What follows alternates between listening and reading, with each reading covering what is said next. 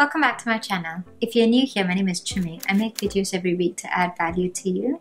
I was feeling particularly chatty today, so I've got myself a cup of tea and I wanted to talk about some of the things that I've been reflecting in the last few weeks. Um, go ahead and feel free to pause this video and grab yourself a drink and I'll wait for you. One of the things that I've been thinking about recently is some of the biggest regrets in my life. I'm not usually one to regret. I don't take decisions or actions that I will regret in the future because I usually sit and think of all of the pros and cons. I plan everything and then I make a decision. But you know, sometimes certain things are beyond your control and then it happens, and a few years down the road, you think, I should have done that differently. One of the things that I regret is that I wasn't old enough when I was younger. I have been a very timid child. Um, while I was growing up, I've been very cautious about a lot of things. I'm the kind who would let my cousins do something first, watch them do it, learn from them, and then I'll do that. I'm not particularly adventurous myself. I don't um, attempt to do anything on my own, as in, I don't take the first move or the first step. I feel like when I was younger, there was probably a lot more opportunity to do many different things, but I didn't just because I dare not take the first step or just because I dare not do anything out of the ordinary for me.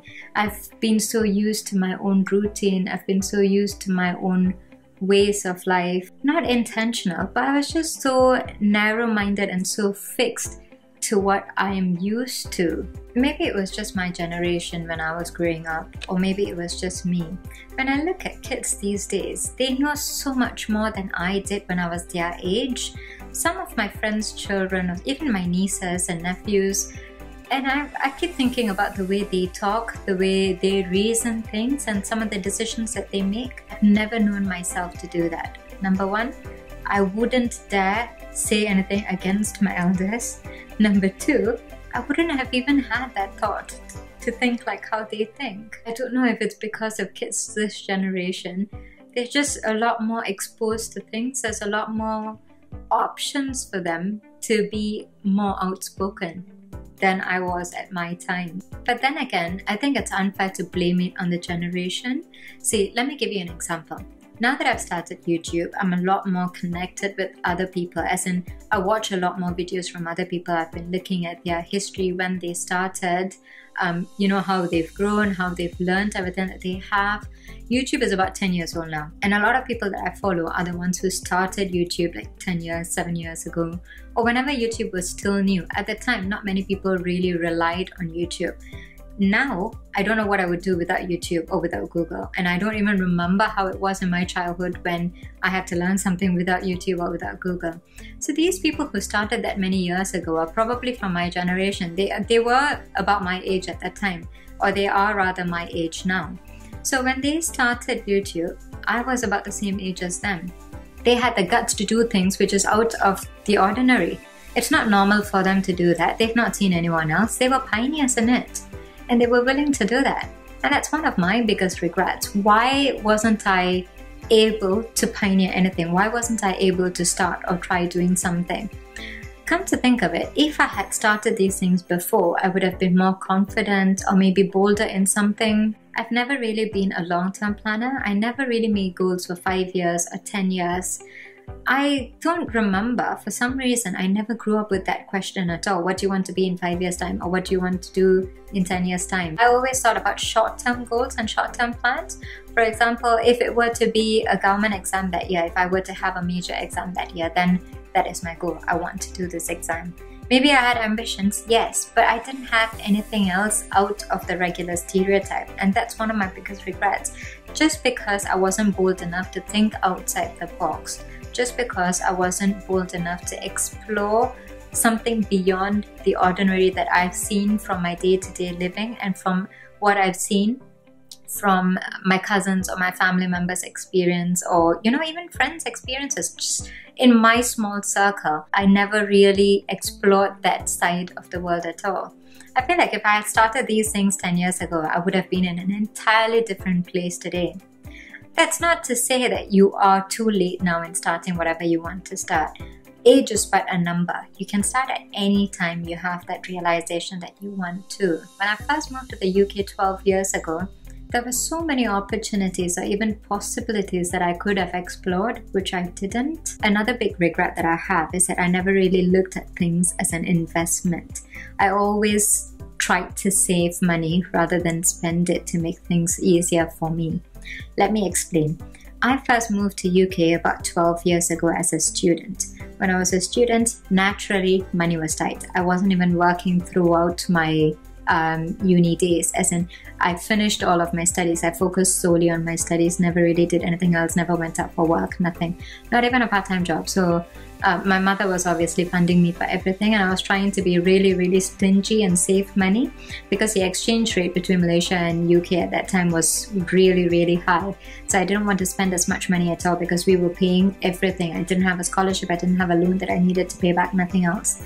And I was thinking, at that time, I struggled a lot.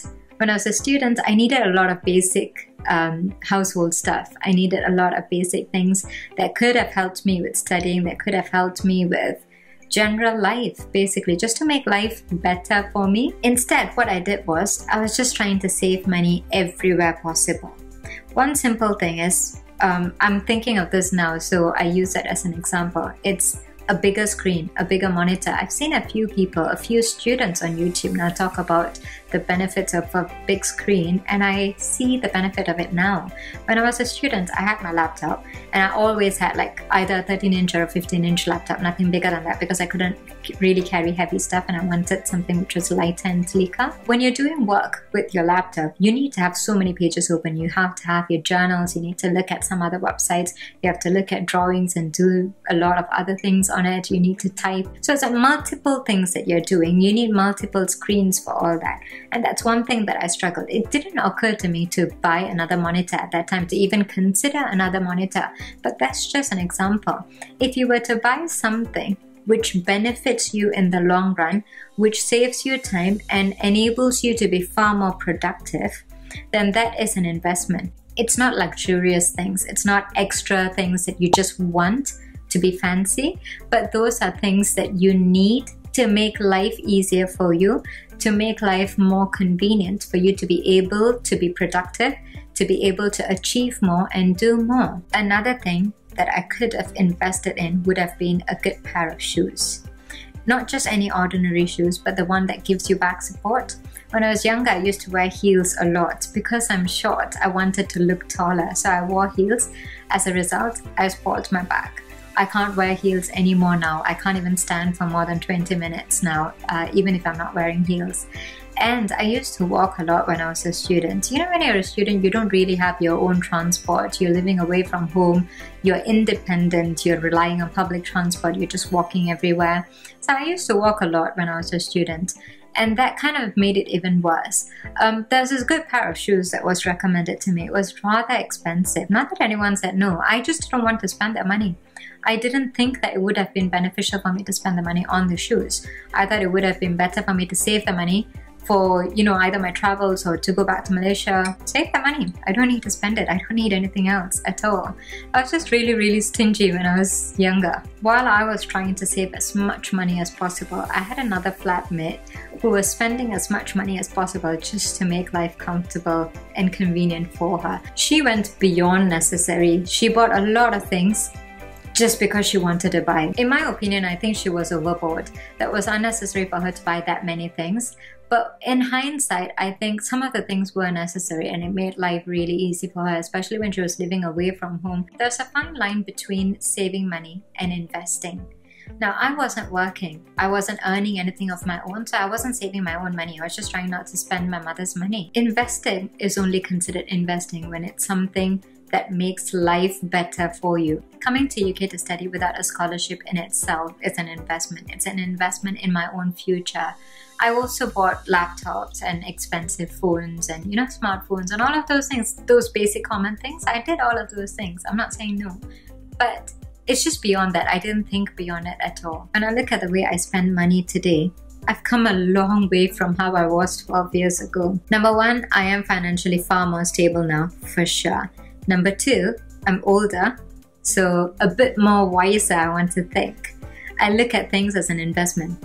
But it's not an investment when you just spend and buy random things. Investment is only considered an investment when it plays its part in the long run. It's something to develop you, something to make you grow, something to help you grow and achieve beyond your own means, achieve something that you have had your eye on or you plan something with a long term goal. Those are my two biggest regrets not being bold enough to explore or to do things that I've never done before and not investing in something.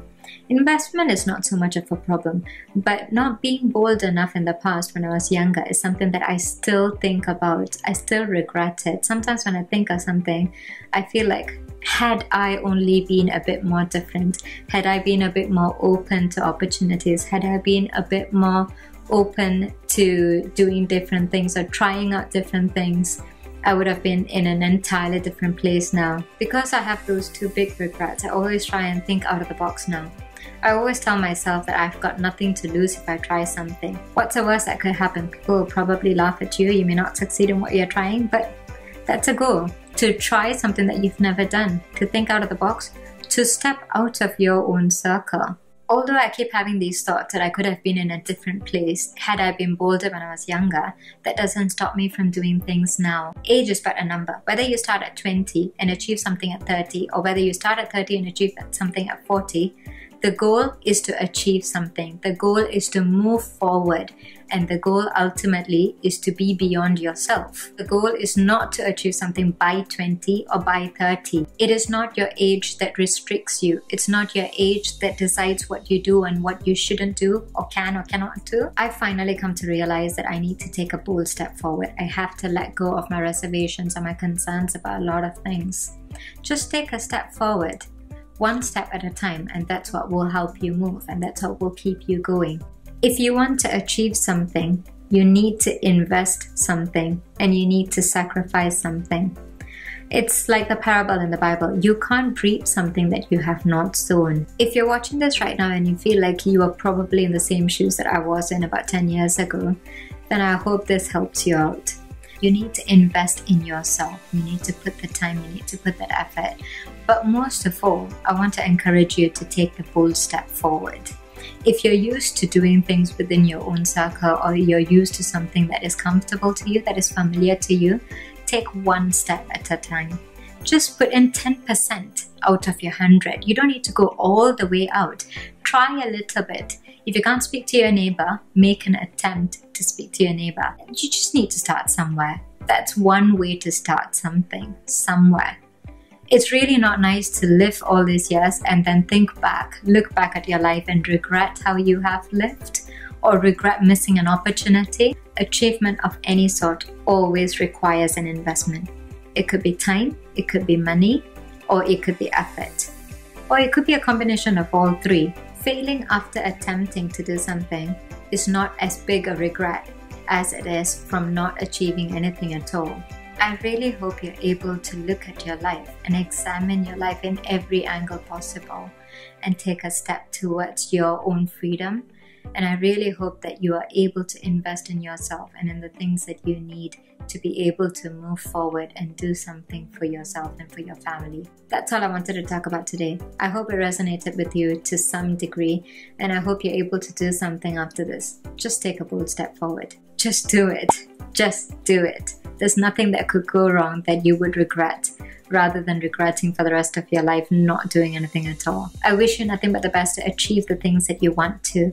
May you always be bold to take a step forward. May you always be bold to do something differently. And may you always be bold to stand up for yourself. Bye. See you again next week.